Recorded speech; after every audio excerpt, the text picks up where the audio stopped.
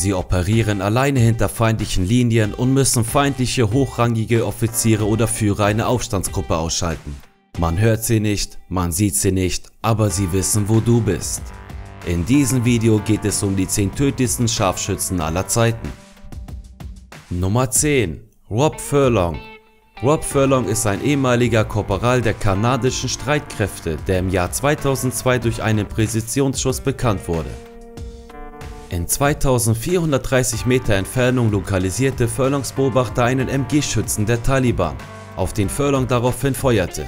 Insgesamt benötigte Furlong drei Versuche, um ihn tödlich zu treffen. Das erste Projektil verfehlte sein Ziel. Der zweite Schuss traf den Rucksack des Taliban. Obwohl dieser das bemerkte, verließ er seinen Schützenstand nicht. Der dritte Schuss war bis dahin der aus der größten Entfernung unter Kampfbedingungen erzielte Treffer.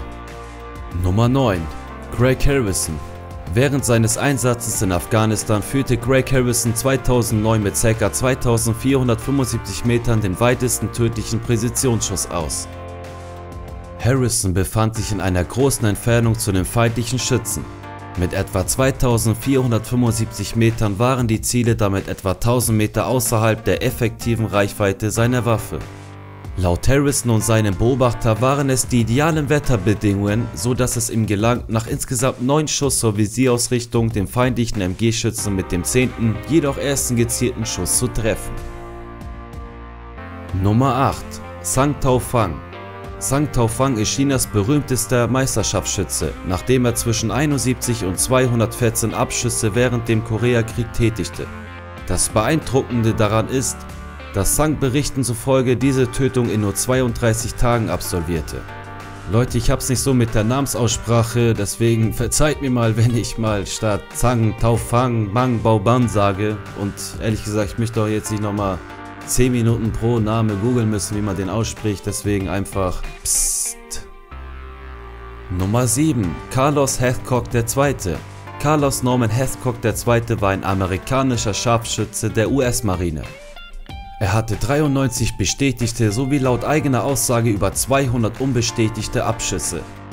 Hathcock gilt aufgrund seiner Abschüsse und einiger anspruchsvoller Operationen im Vietnamkrieg als Legende der US-Marine. Er dient noch heute vielen Scharfschützen als Vorbild. Wegen einer weißen Feder auf seiner Kopfbedeckung wurde er von den Vietnamesen mit dem Spitznamen Weiße Feder benannt. Hescock sagte mal, das war mein Markenzeichen, damit zeigte ich ihnen eine lange Nase. Scharfschützen machen sowas normalerweise nicht, aber ich war nicht normal. Nummer 6 Adelbert Waldron Adelbert Waldron war ein Scharfschütze der US-Armee. Bis 2011 hielt Waldron den Rekord für die meisten bestätigten Abschüsse aller amerikanischen Scharfschützen mit insgesamt 109 Tötungen. Diese führte er im Vietnamkrieg aus. Nummer 5 Chris Kyle Christopher Scott Chris Kyle war ein US-amerikanischer Scharfschütze. Mit über 160 bestätigten Abschüssen ist er laut US-Verteidigungsministerium der Scharfschütze mit den meisten Tötungen in der Geschichte des US-Militärs. Er erhielt während seiner Dienstzeit 14 Auszeichnungen, darunter zweimal den Silver Star und fünfmal den Bronze Star. Am 2. Februar 2013 wurde Kyle zusammen mit seinem Freund auf einen Schießplatz in Texas erschossen. Bei dem Täter handelte es sich um einen Veteran des Irakkriegs. Seine Autobiografie American Sniper wurde zum Bestseller und 2014 verfilmt. Ich habe den Film mehrmals schon gesehen, ist ziemlich krass und kann ich nur weiterempfehlen. Nummer 4 Ludmila Michalowna Pawliczenka Ludmila Michalowna Pawliczenka war eine sowjetische Scharfschützin. Mit 309 bestätigten tödlichen Treffern zählt sie zu den effizientesten Scharfschützen des Zweiten Weltkrieges. Im Juni 1941, der Überfall auf die Sowjetunion, war sie gerade mal 24 Jahre alt und studierte Geschichtswissenschaften an der Universität Kiew.